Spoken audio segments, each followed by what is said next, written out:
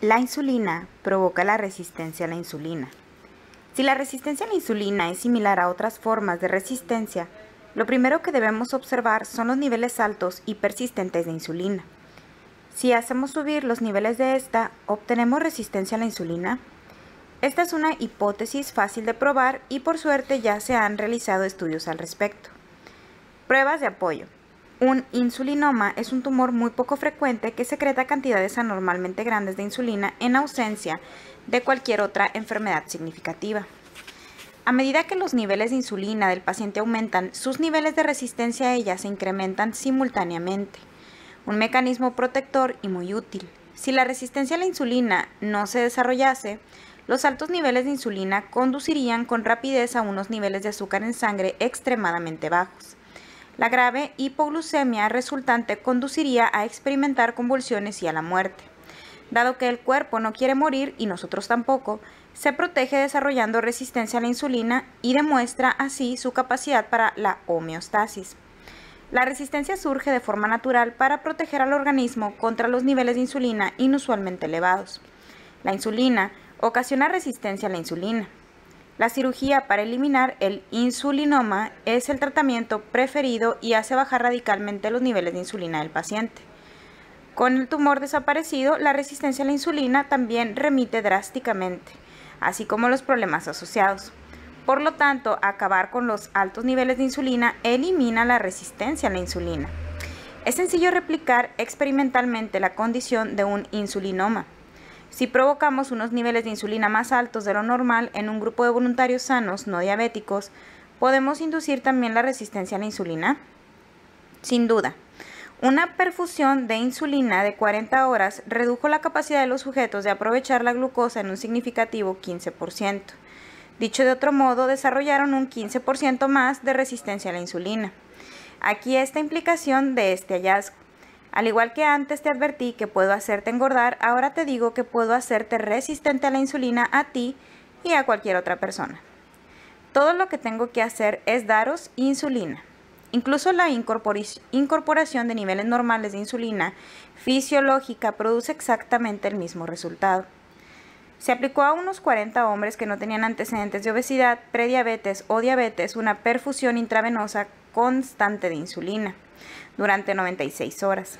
Como resultado, su sensibilidad a la insulina se redujo entre un 20 y un 40%. Esto tiene unas implicaciones asombrosas. Con cantidades normales pero persistentes de insulina, puede hacerse que personas sanas, jóvenes y delgadas se vuelvan resistentes a la insulina. Es posible situar a un individuo en el camino hacia la diabetes y la obesidad por medio de administrar la insulina. En condiciones normales, por supuesto, los niveles de esta hormona no permanecen persistentemente elevados de esta manera. La insulina se prescribe con mayor frecuencia en la diabetes tipo 2 para controlar el azúcar en sangre, a veces en dosis muy altas. La pregunta es, ¿provocan resistencia a la insulina las grandes dosis de insulina? Un estudio de 1993 midió este efecto. Los pacientes comenzaron un tratamiento intensivo con insulina. En seis meses pasaron de no recibir nada de insulina a recibir 100 unidades al día por término medio. Sus niveles de azúcar en sangre estaban muy bien controlados, pero cuanta más insulina se les administró, mayor resistencia a ella desarrollaron. La relación era directamente causal, tan ineludible como la que existe entre un cuerpo y la sombra que proyecta. A pesar de que sus niveles de azúcar mejoraron, su diabetes empeoró estos pacientes también engordaron unos 8.7 kilos por término medio a pesar de que redujeron su consumo calórico en 300 calorías diarias. No importaba, la insulina no solo causa resistencia a la insulina, también provoca el aumento de peso. Obesidad en el tiempo. Así pues, sabemos que la insulina ocasiona resistencia a la insulina, pero la resistencia a la insulina también da lugar a niveles altos de insulina. Se trata de un círculo vicioso clásico que se autorrefuerza Cuanto más altos son los niveles de insulina, mayor es la resistencia a ella. Cuanto mayor es la resistencia, más elevados son los niveles. El ciclo sigue sin cesar. Ambos factores se refuerzan mutuamente hasta que los niveles de insulina alcanzan cotas extremas. Cuanto más tiempo dura el ciclo, más empeoran las cosas. Esta es la razón por la que la obesidad es tan dependiente del tiempo. Las personas que permanecen atrapadas en este círculo vicioso durante décadas desarrollan una resistencia a la insulina significativa. Esta resistencia conduce a altos niveles de insulina que son independientes de la dieta que siguen. Incluso si el sujeto cambiara su dieta, la resistencia seguiría manteniendo altos los niveles de insulina. Si esto sucede, el peso corporal de referencia permanece alto, el termostato está regulado a la alza y el peso tiene una tendencia irresistible a subir. Las personas gruesas se vuelven más gruesas. Cuanto más tiempo se está obeso, más difícil es erradicar la obesidad. Pero eso tú ya lo sabías. Oprah lo sabía. Todo el mundo lo sabe. La mayoría de las teorías actuales de la obesidad no pueden explicar este efecto, así que lo ignoran. Pero la obesidad requiere tiempo, como la oxidación tarda en desarrollarse. Puedes estudiar las condiciones de humedad y la composición del metal, pero si ignoras que la formación de óxido requiere tiempo, no la entenderás. Una dieta rica en alimentos que provocan una respuesta insulínica puede dar inicio a la obesidad, pero con el tiempo la resistencia a la insulina se convierte en una parte cada vez mayor del problema y puede llegar a ser de hecho una causa importante de los altos niveles de insulina. La obesidad se impulsa a sí misma. Es extremadamente difícil romper un ciclo de obesidad largamente asentado y los cambios dietéticos por sí solos pueden no ser suficientes. ¿Qué fue primero? Tenemos un problema interesante aquí, el ciclo del dilema del huevo y la gallina. La insulina alta conduce a la resistencia a la insulina y la resistencia a la insulina conduce a la insulina alta. Entonces, ¿qué tiene lugar primero? ¿La cantidad elevada de insulina o la fuerte resistencia a ella? Existen las dos posibilidades. La respuesta se puede encontrar siguiendo el curso de la obesidad en el tiempo. En un estudio de 1994, los investigadores compararon tres grupos de pacientes. No obesos, recientemente obesos, padecían obesidad desde hacía menos de cuatro años y medio, y obesos de larga duración, desde hacía más de cuatro años y medio. Los no obesos tenían niveles de insulina más bajos, lo cual era de esperar. Pero los dos grupos de sujetos obesos presentaban niveles de insulina igualmente altos, lo que significa que estos niveles suben pero no continúan subiendo con el tiempo y la resistencia a la insulina?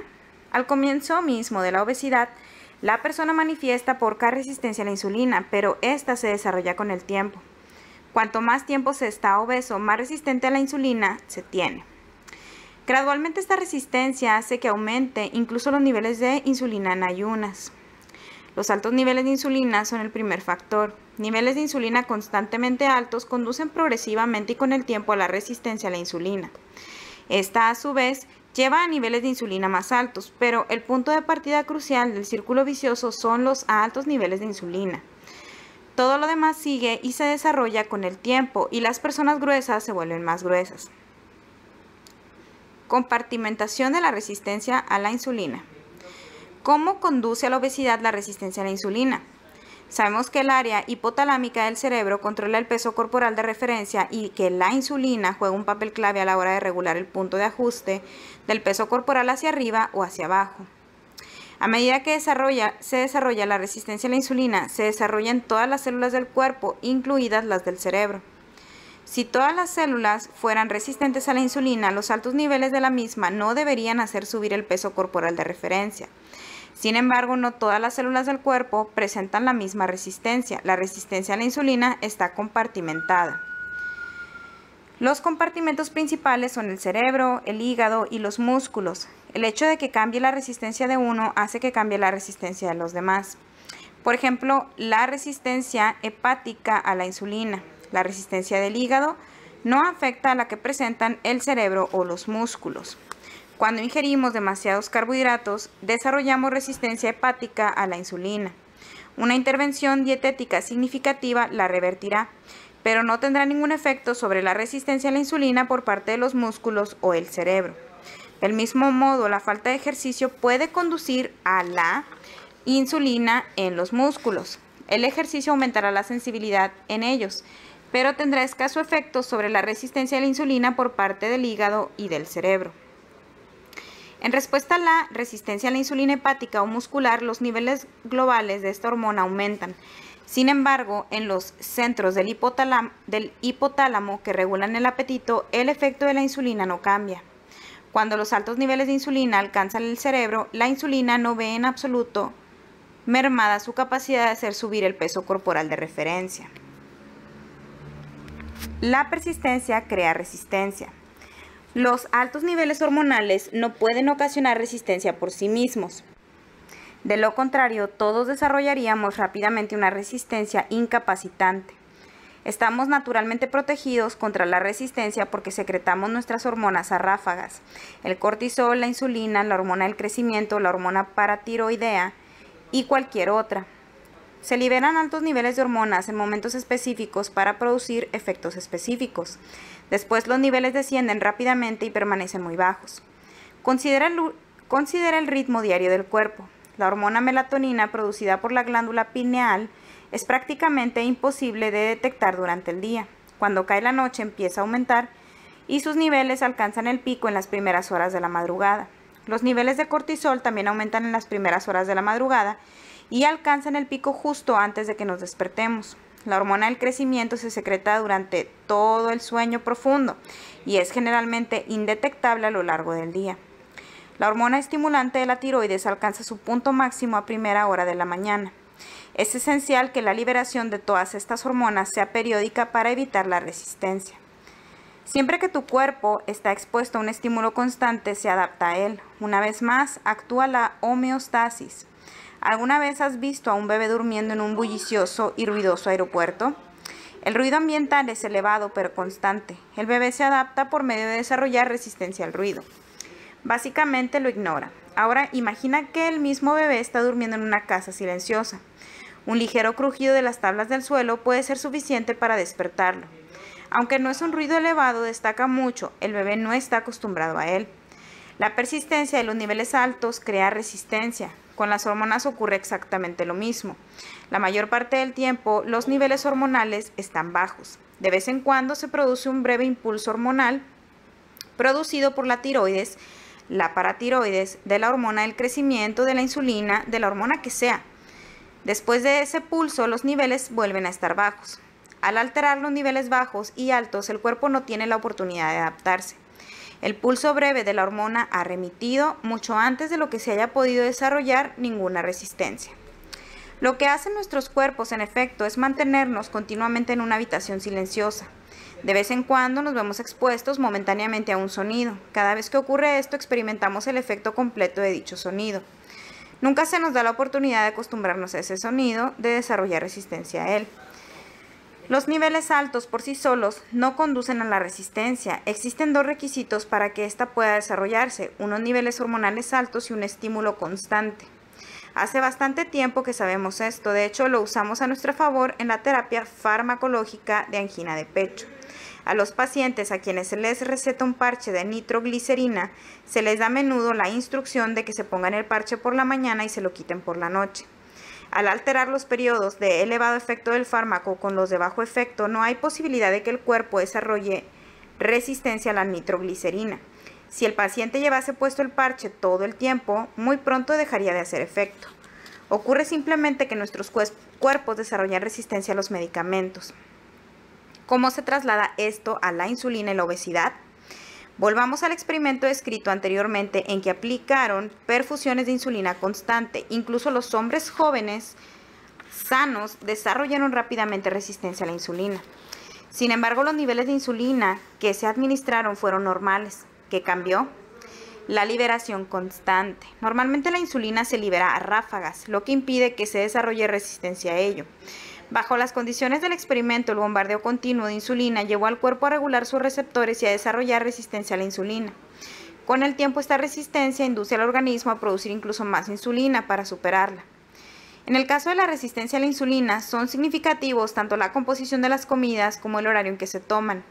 Estos son los dos componentes fundamentales de esta resistencia. Los tipos de alimentos consumidos influyen en los niveles de insulina. ¿Deberíamos, pues, ingerir un dulce o aceite de oliva? En ese punto nos adentramos el tema de la composición de los ah, macronutrientes o de qué comer. Sin embargo, la persistencia de la insulina desempeña un papel clave en el desarrollo de la resistencia a ella, por lo que también existe la cuestión del horario, de cuándo comer. Ambos componentes son igualmente importantes. Desafortunadamente gastamos cantidades obsesivas de tiempo y energía tratando de entender lo que deberíamos estar comiendo y no dedicamos prácticamente nada a saber cuándo deberíamos comer. Solo sabemos la mitad del cuadro. Tres comidas al día, nada de picar entre horas. Regresemos a los Estados Unidos de los años 60. La falta de suministros alimentarios a causa de la guerra ya era cosa del pasado. La obesidad no era todavía un problema importante. ¿Por qué no? Después de todo, la gente de esa época ya comía galletas Oreo, Kit Kats, pan blanco y pasta. Se ingería azúcar, aunque no tanto como hoy día. También tomaban tres comidas al día, pero no refrigerios entre horas. Supongamos que la gente de la época desayunaba a las 8 de la mañana y cenaba a las 6 de la tarde. Eso significa que 10 horas marcadas por la comida se veían equilibradas con 14 horas de ayuno. Los periodos de aumento de insulina de alimentación se compensaban con periodos de disminución de insulina de ayuno. Comer grandes cantidades de carbohidratos refinados como el azúcar y el pan blanco hace que lleguen picos de insulina más altos. Entonces, ¿por qué la obesidad tardó en avanzar? La diferencia decisiva es que había un periodo diario en que los niveles de insulina estaban bajos. La resistencia a la insulina requiere que los niveles altos se mantengan de forma persistente, lo que se conseguía gracias al ayuno nocturno. De ese modo, la resistencia no podía desarrollarse. Uno de los factores claves en el desarrollo de la obesidad no, no estaba presente. A los pulsos de insulina en las horas de comida le sigue un largo periodo de ayuno, sueño, como se ilustra en la fotografía 10.1. Sin embargo, la situación cambia por completo cuando estamos constantemente expuestos a la insulina. ¿Qué sucedería si las posibilidades diarias de comer pasaran de ser 3 a 6? Que es exactamente lo que está ocurriendo desde los años 70. En esos tiempos las madres sabían que tomar tenta en pies a todas horas era una mala idea. Esto te va a engordar. No vas a tener hambre para cenar, decían, pero las autoridades nutricionales han decidido que picar entre horas es bueno para nosotros que comer más a menudo hará que estemos más delgados, por más ridículo que pueda parecer. Muchos especialistas en obesidad y muchos médicos sugieren comer incluso con más frecuencia cada dos horas y media. Una encuesta estadounidense que fue respondida por más de 60.000 adultos y niños reveló que en 1977 la mayoría de la gente comía tres veces al día. En 2003 esa cantidad ascendía a cinco o seis veces al día. Es decir, se hacían tres comidas al día y se tomaban dos o tres refrigerios entre ellas. El tiempo medio entre las comidas bajó un 30% de 261 minutos a 208. El equilibrio entre el estado de alimentación en que la insulina es dominante y el estado de ayuno en que la insulina es deficiente se ha destruido completamente, como puede verse en la figura 10.2. Ahora pasamos la mayor parte del tiempo en el estado de alimentación. Es un gran misterio que estemos engordando. La situación va de mal en peor. La resistencia a la insulina a su vez conduce a niveles más altos de insulina en ayunas, unos niveles que normalmente deberían ser bajos. Ahora, en lugar de comenzar el día con la insulina baja después del ayuno nocturno, lo empezamos con la insulina alta. La persistencia de altos niveles de insulina hace que la resistencia aumente aún más. En otras palabras, la propia resistencia a la insulina conduce a una mayor resistencia. Caemos en un círculo vicioso. Ya tenemos pues los dos prerequisitos de la resistencia a la insulina, los altos niveles de insulina y su persistencia. El hecho de seguir una dieta baja en grasas condujo al aumento inadvertido del consumo de carbohidratos refinados, lo cual estimula la presencia de unos altos niveles de insulina y esto contribuye al aumento de peso. Pero en el desarrollo de la obesidad, el aumento de la cantidad de comidas es casi dos veces más importante que el cambio de dieta.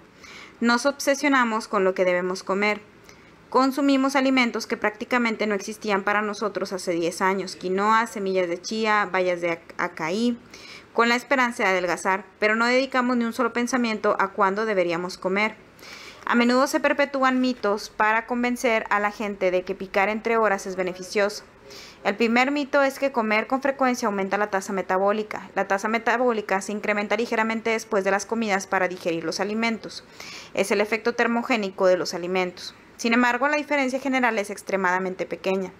Tomar seis comidas pequeñas al día hace que la tasa metabólica suba seis veces al día, pero solo un poco. Tomar tres comidas más grandes al día hace que la tasa metabólica suba tres veces al día, pero mucho en cada ocasión. Al final se obtiene el mismo resultado. El efecto termogénico total de los alimentos en el plazo de 24 horas es el mismo en el caso de ambas dinámicas alimentarias. Ninguna de las dos implica una ventaja metabólica. Comer más a menudo no ayuda a perder peso.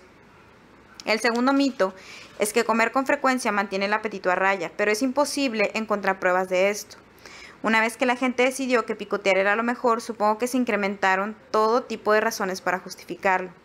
Hay estudios recientes que no apoyan esta idea. El tercer mito es que comer con frecuencia evita que la glucosa en sangre descienda demasiado. Pero a menos que tengas diabetes, tus niveles de azúcar en sangre se mantienen estable tanto si comes seis veces al día como si comes seis veces al mes.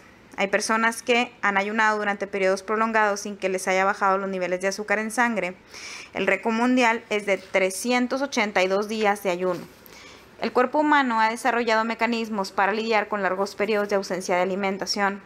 El cuerpo quema grasa para obtener energía y los niveles de azúcar en sangre permanecen dentro del rango normal, incluso mediante y durante el ayuno prolongado, debido a la gluconeogénesis. Estamos comiendo todo el tiempo. Las normas sociales que antes fruncían el ceño cuando uno comía fuera de horas actualmente permiten comer en cualquier lugar y en cualquier momento. Las agencias gubernamentales y las escuelas alientan activamente el picoteo entre horas, algo que antes desaprobaban. Se nos enseña a comer durante todo el día, desde el momento en que salimos de la cama hasta justo antes de acostarnos. Pasamos hasta 18 horas en el estado en que la insulina es dominante y solo 6 horas en el estado en que haya una deficiencia de insulina. La figura 10.3 ilustra hasta qué punto ha cambiado el equilibrio entre los estados de dominio y carencia de insulina. Lo que es aún más absurdo es que nos han lavado el cerebro para que creamos que comer constantemente de alguna manera beneficia para nosotros, no solo aceptable, sino saludable. Con el fin de dar cabida a todas las oportunidades de comer, las normas sociales también han cambiado. Anteriormente solo se ingirían alimentos a las horas de las comidas, sentados en torno a una mesa. Hoy día es admisible comer en cualquier lugar. Podemos comer en el coche, en el cine, delante del televisor, durante el ordenador, mientras caminamos, mientras hablamos. Podemos comer en cualquier situación y en cualquier parte. Se dedican miles de dólares a dar refrigerios a los niños durante todo el día. Después se dedican millones de dólares a combatir la obesidad infantil. A estos mismos niños se les reprende por engordar y se dedican otros tantos millones a combatir la obesidad de los adultos. El incremento de las oportunidades de comer ha llevado a la persistencia de los niveles altos de insulina. Los refrigerios que tienden a ser ricos en carbohidratos refinados también tienden a elevar los niveles de insulina. En estas condiciones, cabe esperar que aparezca la resistencia a la insulina. Nunca pensamos en las implicaciones que tienen los cambios drásticos que hemos efectuado en cuanto a los momentos de comer. Piensa en ello de esta manera. En 1960 tomábamos tres comidas al día, no había mucha obesidad. En 2017 tomamos seis comidas al día y hay una epidemia de obesidad. ¿De verdad piensas que debemos comer seis veces al día? Mientras documentales como Super Size Me acaparan todos los titulares y mientras la gente controla obsesivamente sus raciones, el principal culpable permanece totalmente oculto. El pérfido refrigerio. De hecho, muchos profesionales de la salud han alabado el aumento de la cantidad de comidas. Sí, es tan absurdo como parece. Come, come más para pasar menos. Perdón, dice aquí, come más para pesar menos. Esta recomendación no parece que vaya a dar resultado así de entrada. ¿Y sabes qué? Efectivamente no da resultado. Y bueno, hasta aquí termina esta tercera parte. Continuaremos el día de mañana con la cuarta parte que se llama El fenómeno social de la obesidad. Muchísimas gracias por escuchar estas lecturas. Nos vemos mañana. Agradecería que me dejaras un comentario, un like y que compartas esta información si es de utilidad para ti y para los tuyos. Gracias, nos vemos en el próximo video.